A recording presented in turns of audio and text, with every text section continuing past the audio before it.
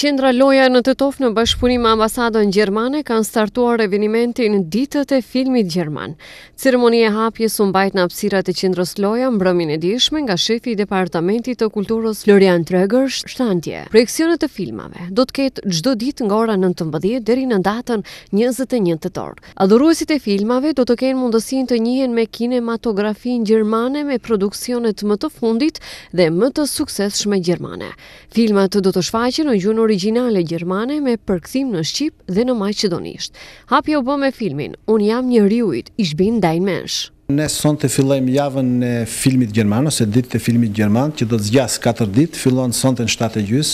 Deri me datë njëzet e një projeksionet do të jenë nga shtatë e gjys, përveç ditës së fundit me datë njëzet e një kur do të kemi një projeksion shtesë me filma të shkurtë dhe dokumentarë. Ajo që shifni janë prirjet e fundit të kinematografisë gjermane, janë filma cilat jo janë një lloj filmi që ne jemi mësuar ta shohim nëpër kinema, është diçka që është e vendosur në kontekst zhvillimeve në botë, në botën e sotme, është një film që ndihmon të reflektosh, të shohësh disa gjëra pak më ndryshe, kështu që janë gjuhën shqipe, janë maqedonase,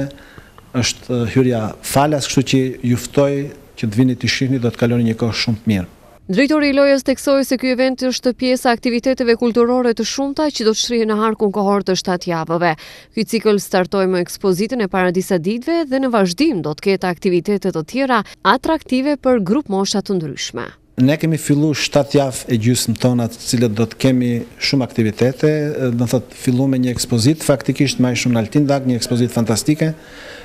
Vazhdojmë me filmin gjerman, do të kemi pesë trajnime për universitetet që do të mbahen me gjithë universitetet e Maqedonisë, dy trajnime nga rajoni, të cilat aktivistët qytetarë do të mësojnë teknikat artistike se si arti mund të përdoret në funksion të aktivizmit. Kjo do të kulmojë me një diçka që do të jetë unike, ndoshta jo vetëm për Tetovë dhe Maqedoni, por për Ballkanin, ku për herë të parë do të bëjmë festival literature bashkë me konferencë për edukim interkulturor dhe aktivist art aktivist nga rajoni dhe nga bota emra shumë shumë të njohur kjo do të ndodhë midis njëzet e dy dhe njëzet e pesë nëntorit do të kemi edhe një artist shumë të njohur gjermano britanik që do të qëndrojë këtu për një muaj, është një artist që është i njohur në fushën e videoartit dhe instalacioneve, kështu që gati çdo ditë do të ketë nga një aktivitet. Të gjithë të interesuarit që duan të kalojnë një mbrëmje ndryshe mund të njihen me programin në faqen zyrtare të Qendrës Loja, ndërsa pjesëmarrja është pa pagesë.